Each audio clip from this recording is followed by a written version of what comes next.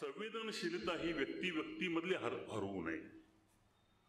संवेदनशीलता ही कुटुंबातली हरवू नये.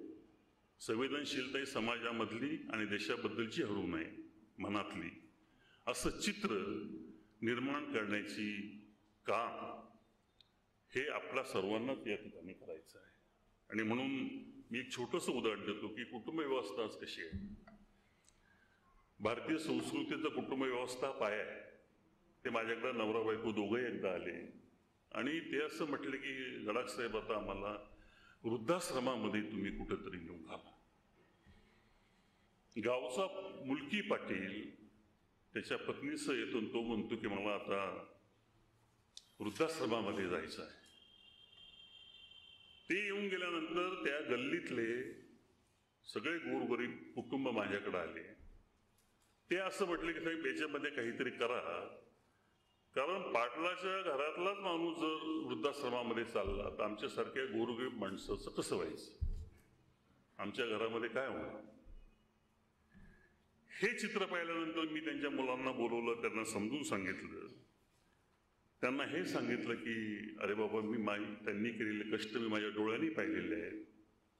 आणि मग त्यानंतर एक एका मुलाने एका मुलाकडे वडील राहायला गेले आणि एका मुलाकडे आई राहिली. हे सुद्धा चित्र समाजामध्ये आज दिसतं. मुंबईवरती आता हल्ला झाला. त्याच्यानंतर दुसऱ्याच दिवशी आमच्या नगर जिल्हा बँकेच्या चेअरमनची निवड होती. चोवीस तास सुद्धा उलटले नव्हते. आणि त्यावेळेला सत्काराची निवड झाल्यानंतर मग नेहमीप्रमाणे लोक फटाकडे गुलाल वगैरे करतात. मी ते असं सांगितलं की आता आपण आज हे फटाकडे उडवू नका. गुलाल उधळू नका पण लोक थांबायला तयार नव्हते.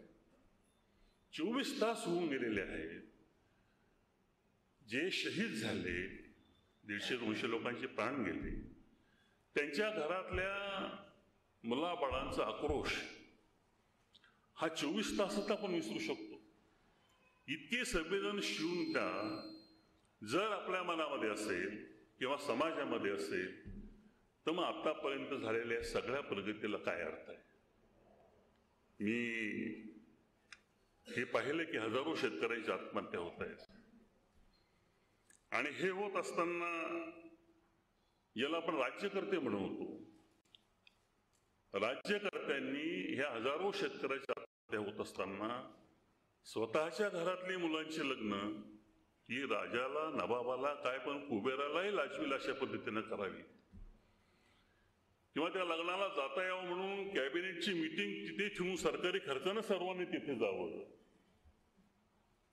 असे जर संवेदना शून्य राज्यकर्ते असतील तर मग या समाजामध्ये समाज ज्या पद्धतीनं चालतो कुठं जातो ज्यांना कुठं न्यायचं असतो अशांच्या बाबतीमध्ये समाजानं काय विचार केला पाहिजे याचंही प्रतिबिंब हे साहित्यातूनच वाढू शकतं.